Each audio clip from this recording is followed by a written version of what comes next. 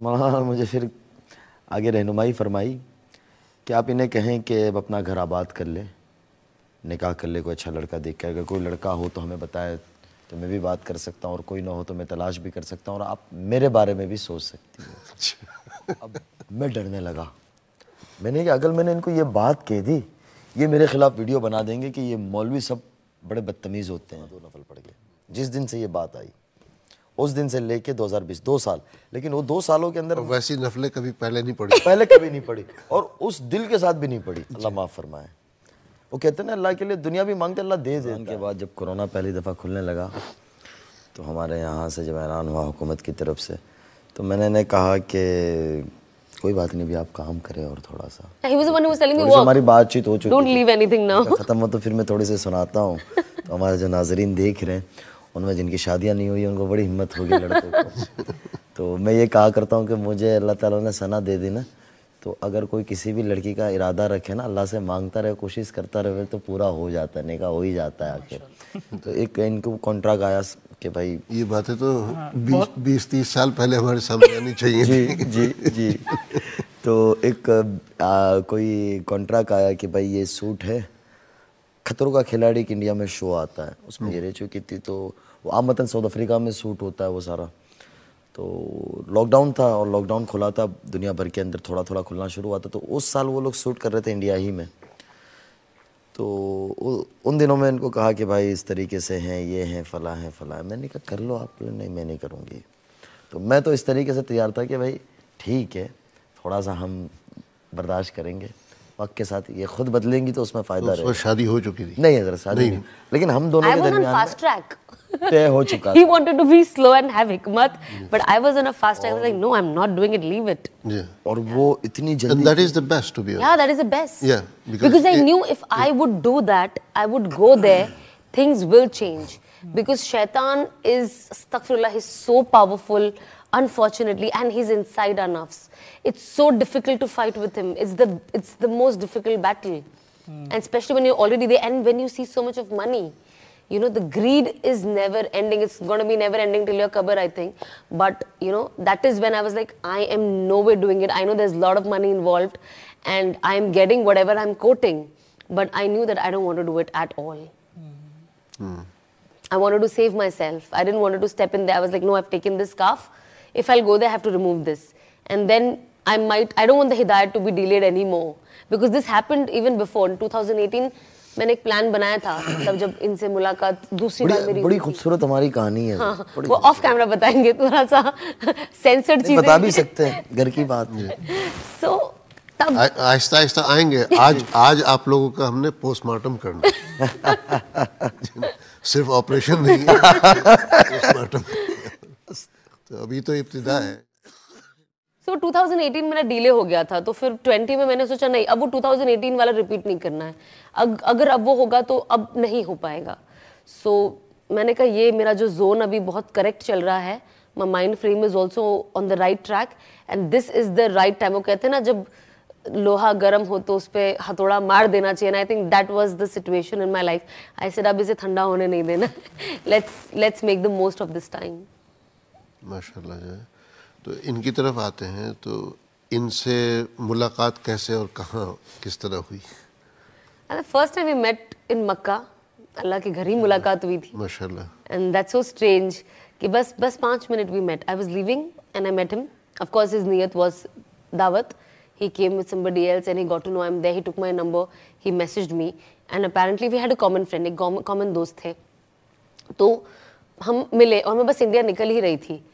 तो बस दस मिनट की मुलाकात हुई।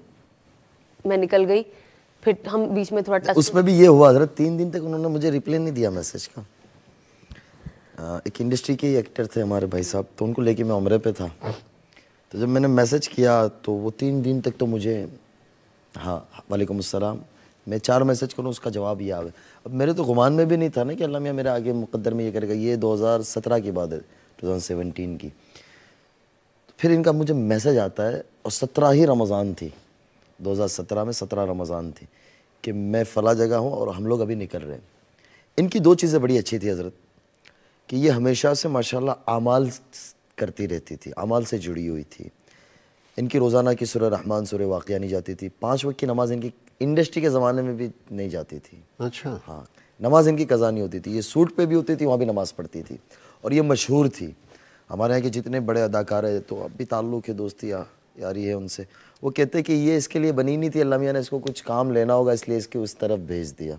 एक बिग बॉस सौ आता है हमारे यहाँ। हर साल होता है इस साल अभी थोड़े दिनों पहले ख़त्म हुआ। तो हमारे सलमान खान साहब उसको होस्ट करते हैं। तो हमारे यहाँ बहुत एक बहुत मशहूर म्यूज़िक डायरेक्टर है। वो मुझे कहने लगे शादी के बाद कि यार ये उसके लिए बनी ही नहीं थी। मैंने क्या क्यों? बोले कि कई सालों पहले जब मैं कुछ एक मसला हुआ था तो सलमान साहब ने मुझे कहा कि आप जाएँ और थोड़ा सा उस मसले को देखें अंदर जो इनके साथ दूसरे ग्रुप वाले साथी जो थे। तो कि मैंने इनको देखा रात के वक्त एक कोने में नमाज़ पढ़ रही थी। तो मैं देख के बड़ा हैरान हुआ मैं आया तो मैंने सलमान खान साहब से पूछा बोले ये बोले ये एक लड़की है सना खान इस तरीके से एक्टर है। तो बोले मैं बहुत हैरान हुआ। और उसके बाद बोले मैं इन्हें हमेशा देखता था कि ये माशाल्लाह दीन से जुड़ी हुई थी। और सबसे बड़ी बात ये थी कि ये भाई बहनों में कोई नहीं है ये अकेली है भाई बहन इनके कोई नहीं है अपने वालदेन की। इनकी वालदा को 2013 के अंदर क्या हुआ था? Brain haemorrhage. हो गया था। दस में। इन्होंने बा कमाल खिदमत की हज़रत। अपनी वालदा की छः आठ महीने वो हॉस्पिटल में रहे। मौत नहीं लिखी थी लेकिन उस बीमारी के अंदर इन्होंने अपनी ज़ात से माल भी लगाया खिदमत की लाइन से। यानी एक बेटे की तरीके से इन्होंने बहुत ज़्यादा खिदमत की। तो ये सारी दुनिया जानती है माशाल्लाह यानी इनके फ़ैन और हमारा इंडिया की सारी इंडस्ट्री जानती थी। तो ये चीज़ें इनके अंदर ये खूबियाँ थी। तो ये होता था कि ये हर साल रमज़ान में उम्र पे जाती थी इंडस्ट्री में भी। अच्छा। हाँ। अच्छा। तो ये 2012 13 से जाती रही 13 14 15 16 17 में इतफाकन मैं भी होता था लेकिन कभी इस तरह से मुलाकात नहीं होती थी। मेरे साथ इंडस्ट्री वाले ही एक साहब थे। तो उन्होंने मुझे बुलाया तो मैं चला गया। अब रमज़ान में आमतन फजर के बाद हरम की मसरूफियत रात भर की होती है तो सोना आदमी बिस्तर देख रहा होता है। तो मैं चला गया मैंने क्या बाजी, क्या हाल है? अब मुझे तो पता नहीं था ना कि मेरे मुकद्दर में ही बीवी बनने वाली है तो मैंने बाजी कह दिया। तो जो हमारे नाजरन देख रहे होंगे, उन अक्सर उन्हें हमारे इंटरव्यू देखे होंगे, लेकिन यहाँ जो मैं बताऊँगा, ये शायद पहली दफ़ा कहने लगा हूँ सारा। तो इन्होंने क्या बस खैरियत है, मेरे लिए दुआ करना, आप यहाँ रुकने वाले हो, अभी ईद के बाद आओगे मैंने कहा इंशाल्लाह दुआ करेंगे मैंने कि आपको कोई भी इंडिया में काम हो तो ज़रूर बताइएगा। ये वापस हो गया, इनकी वालदा से मैं मिला, मुझे बड़ा, यानी ताजुब हुआ कि अपनी माँ को एक एक छोटा बच्चा जो होता है ना, माँ जिस तरीके से उस बच्चे को प्यार करती है, उस बच्चे को लेके चलती है, वो अपनी माँ को बच्चे की तरह ये लेके चल रही थी। इसके साथ इनके साथ संभालने वाले लोग भी थे, लेकिन ये अपनी वालदा को उस तरीके से इंडिया आने के बाद मैंने इनको मैसेज किया इन्होंने एक दो दफ़ा जवाब दिया तीसरी दफ़ा मुझे ब्लॉक कर दिया कोई बात किए बगैर। अब क्यों करते थे वो तो इनको ही पता। आज तक वो मुझे कभी नहीं बताया शायद आपकी बरकत से यहाँ बता दे। अब उससे आगे की बात हज़रत ये होती थी। अच्छा नहीं अभी एक है कौन? एक एक कदम और पीछे जाते हैं। आपने इनको इनसे मुलाकात की हरम में। उसकी भी कोई वजह तो होगी ना? सिर्फ़ दावत। ये नहीं लेकिन आपको कैसे पता कि ये वहाँ मौजूद हैं या इनको आप इंस्टाग्राम पे इन्होंने अपने सोशल मीडिया पे डाला था तो मेरे साथ जो साहब थे उम्रे पे वो भी इंडस्ट्री से ताल्लुक़ रखते थे। तो उनका इनकी दुआ सलाम थी दोस्ती यारी थी। उन्होंने कहा कि मौलाना आप इनसे मिलना चाहिए। बड़ी अच्छी लड़की दीन की तरफ़ आ सकती है। तो हमें मिलने में क्या जाता है? तो मेरी ये नीयत थी। ठीक है और आपको था कि he's coming through a reference हाँ। For me it was okay somebody is there random guy so मैं मिल लेती हूँ हाँ। मौलाना से मुझे पहले बहुत डर लगता था। मुझे लगता था आप फतवा दे देंगे मुझे. अल्लाह की पुलिस कहते थे। हाँ, अल्लाह की पुलिस कहती हूँ मैंने। मैंने कहा अल्लाह की पुलिस आ गई भागो। शादी की तो मुफ्ती से ही की। अल्हम्दुलिल्लाह। मौलवी से भी नहीं की मुफ्ती से की। वो भी अगर मौलवी अल्लाह की पुलिस है तो मुफ्ती तो अल्लाह का दरोगा हुआ तब इतना डिफरेंस नहीं पता था अनफॉर्चुनेटली जी। सब दाढ़ी टोपी वाले मुझे मौलवी लगते थे। नॉर्मल इंसान भी मुझे वो भी मौलवी लगता था। बट फिर ये ब्लॉक करती थी हज़रत। इन्हें कोई काम हो ना कोई बात पूछनी हो कोई दीनी बात हो या कोई मशवरा लेना हो तो ये मुझे अनब्लॉक करे बात पूछे फिर ब्लॉक कर देवे। ये पूरा 2017 चलता रहा। ये भी बता दे कि क्यों आज ये क्या था वजह? हो ही रहा है। नहीं बस ऐसे ही आई वाज स्कैर्ड कि अब ये कुछ बोल देंगे अब ये कुछ बोल देंगे तो अपनी मुद्दे का जवाब ले लो फिर बंद कर दो। तो 2018 के मौके पे हज़रत हज के नहीं लेकिन ब्लॉक करने से पहले अगर किसी से मतलब बातचीत चल रही है चाहे वो मतलब ही नहीं एक उस्ताद या मौलवी की शक्ल में जो भी है तो उसको कम से कम बताना तो चाहिए कि भाई please don't contact me anymore हाँ मुझे वो बोलने बुरा लगता था पर ब्लॉक करना बुरा नहीं लगा। ब्लॉग वो इस तरह करते थे कि जैसे अभी बात पूछी है शाम का वक्त है मैंने जवाब दे दिया इन्होंने जजाक जजाकल्ला बहुत शुक्रिया। उसके बाद जब अगली दफ़ा मैं इनका नंबर खोलूँ तो मैं ब्लॉक हूँ। अब वो किस टाइम पे मैं ब्लॉक होता था वो मुझे नहीं पता था। फौरी हो जाता था या रात में होता था या सुबह होता था वो नहीं पता होता था मुझे। तो कुछ इस पर इनका मसला हल करें। जी जी मैंने बोल दिया उनको मुझे वो आज तक मुझे उसका जवाब सही मिला ही नहीं है जिससे मैं मुतमिन हो जाऊँ। 2018 के मौके पे हज़रत मैं हज पे था। अल्लाह हरमैन बहुत ले जाता था अल्हम्दुलिल्लाह पहले से ही। तो हज के मौके पे हमारे एक बुज़ुर्ग हैं माता रिजल साहब मैंने उनको कहा मैंने क्या एक लड़की है। तो आंटी मौलाना के घर में से जानते थे इनको कि हाँ वो स्नैपचैट वगैरह पे रखते रहते हैं साफ़ी इंस्टाग्राम वगैरह के ऊपर। तो माँ का मेरी बात कराओ इनसे। तो मैंने माँ माँ का कोई आया इनका? कोई अभी आखिरी कोई मूवी मैंने क्या जाती काफ़ी करती रहती है। तो उन दिनों में इनकी एक वेब सीरीज़ आई थी, जिंदाबाद के नाम से। तो उसमें ये कोई अफसर बनी हुई थी। तो ये बंदे बड़े पिट रही है, उसका उस तरह से सूठा मैंने कुछ कुछ चीज़ें दिखाई। मैंने इनको मैसेज किया कि, मौलाना आपसे बात करना चाह रहे हैं। तो इनका दो तीन घंटे के बाद जवाब आया, जी जी यस मैंने कहा, मैं अनसी हूँ, मुझे अनब्लॉक करो। वो नंबर भी ब्लॉक मैंने क्या या अल्लाह खैर मैंने किया। मेरे साथ एक दोस्त था, मैंने कहा, आपके पास व्हाट्सअप नंबर है ना, सऊदिया का? वो मुझे दे दे, फिर आप ले लेना। मैंने एक मौलाना से वीडियो बनवाया। मैंने इनको भरोसा तो हो कि मैं बंदा सही हूँ। अब अभी तक कोई तश- तसव्वुर में ना निकाह थी, ना शादी थी, क्योंकि हम लोग सीधे साधे मौलवी लोग। तो यहाँ बताता हुआ सर तक मैं वो तो मैंने वो वीडियो बनवाई भेजा इनको। तो इनको लगा कि हाँ बंदा सही है। इन्होंने कहा कि जी बात कराएँ बात करें। इनको बंदा सही है नहीं लगा होगा। बंदा हाँ बात सही कर रहा है। बात सही कर रहा है। हाँ, ये बात भी आपकी सही और बंदा सही होने दोनों में जी जी। तो बात जब कराई तो मौलाना कहा कि बेटी क्या हाल है? मैं आपसे मिलना चाहता हूँ। उन्होंने कहा कि मौलाना मैं तो इंडिया में होती हूँ। तो बोले बेटा दुबई आना हो तो बताइएगा। बोले मैं नेक्स्ट मंथ आ रही हूँ एक इवेंट के सिलसिले में क्रिकेट इवेंट है। तो मेरी वालदा भी बोले साथ होगी ये। इन्होंने हज़रत मौलाना को ये कहा। तो बोले बहुत अच्छी बात है। उन दिनों में 2018 का हज अगस्त के आखिरी दिनों में था। सितंबर आया। सितंबर की 25 तारीख तय हुई थी। 20 को माना की तरफ़ से पैगाम आता है कि भाई मैं घर वालों के साथ आ रहा हूँ।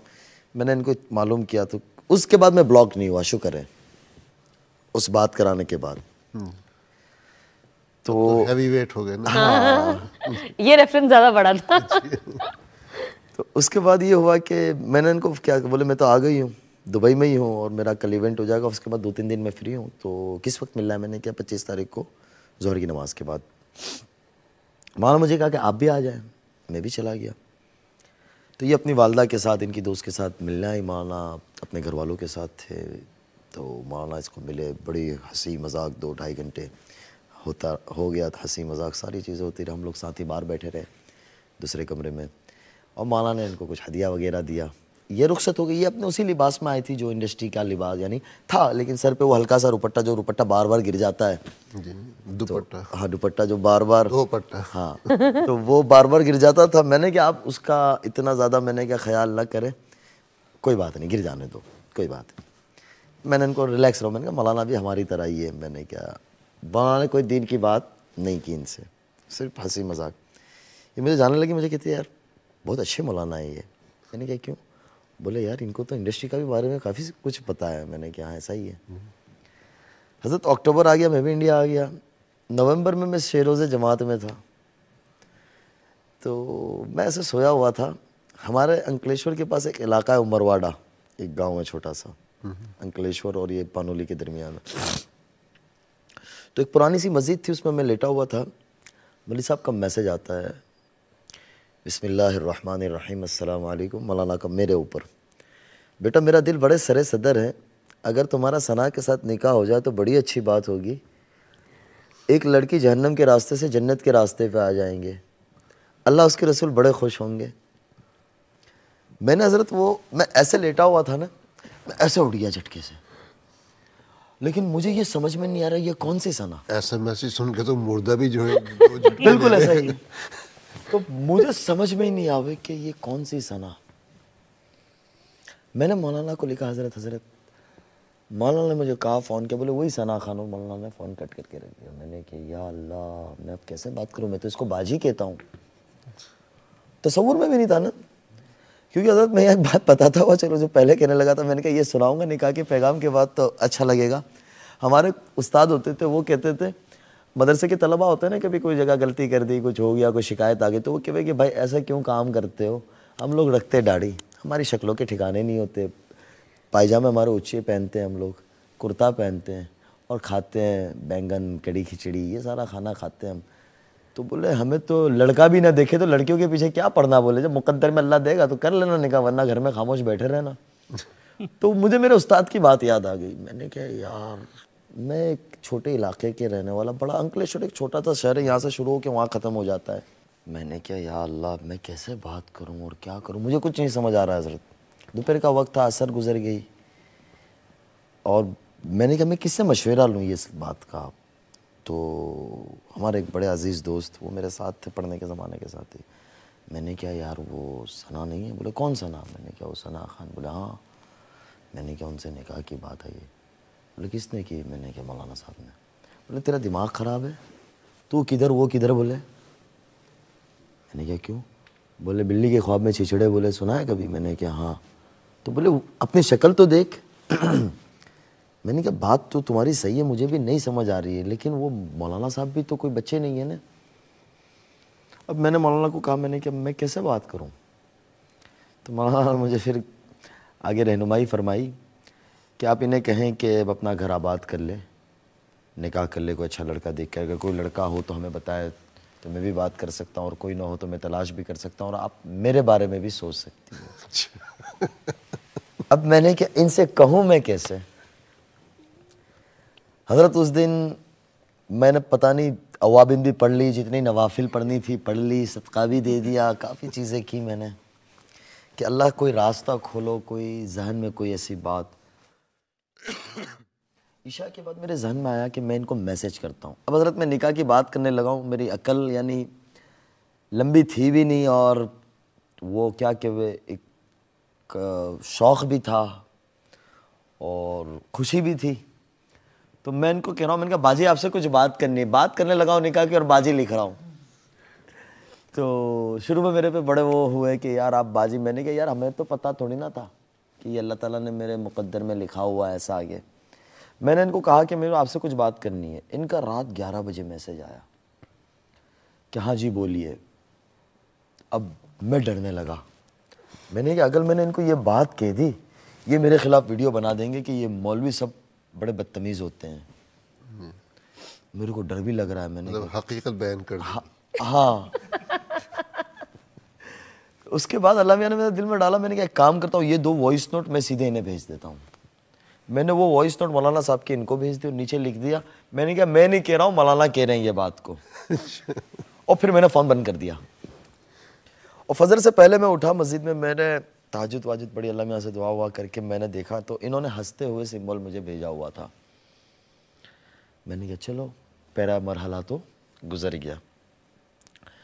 खैर नवंबर इस तरीके से गुजर गया। दिसंबर में मैं कहीं सफ़र पे था, दुबई में था। मौलाना साहब का कहीं आगे सफ़र था, कनाडा जा रहे थे तो उनका स्टॉप था। माँ साहब ने इनको फ़ोन किया कि, बेटा, आपकी आंटी भी साथ है, अगर आप आ जाए तो बड़ी अच्छी बात होगी। तो इनका कोई सूट था उस दिन, और घर में कोई शादी की तकरीब भी थी। तो वो दोनों चीज़ें छोड़कर ये एक दिन के लिए मौलाना को दो घंटे के लिए मिलने आई। अब मैं मौलाना के एक बड़ा स्वीट था, उसके अंदर एक कमरा था, वहाँ मैं बाहर कमरे के बाहर खड़ा हूँ। मौलाना साहब के बेटे और हमारे कुछ दूसरे दोस्त, अहबाब तो मैं खड़ा हूँ तो उन लोगों को मैंने बताया था कि मेरा इस तरीके से इनसे रिश्ते की बात हुई है। तो वो लोग सारा मेरी मज़ाक बना हुआ बोले, तेरा दिमाग ख़राब है। तुझे इंग्लिश मुझे इंग्लिश नहीं आती, अंग्रेज़ी मुझे इतनी, तब तो बिल्कुल नहीं आती, अब थोड़ा बहुत ये मेरी उस्ताद बने हुए हैं। मैंने कहा, कुछ तो आप उस्ताद बन जाए। तो वो लोग सारा मस्ती मज़ाक मेरे से करें कि, यार, तेरा कैसे होगा? तू सोच तो सही। मैंने कहा बात तो सही है मेरा चेहरा जब मैं खुद शक्ल आईने में देखता हूँ शीशे में तो मैं कहता हूँ कभी मुमकिन नहीं है। लेकिन इतना था कि अल्लाह से मैं माँगता था रोज़ाना दो नफल पढ़ के। जिस दिन से ये बात आई उस दिन से लेके 2020 दो साल।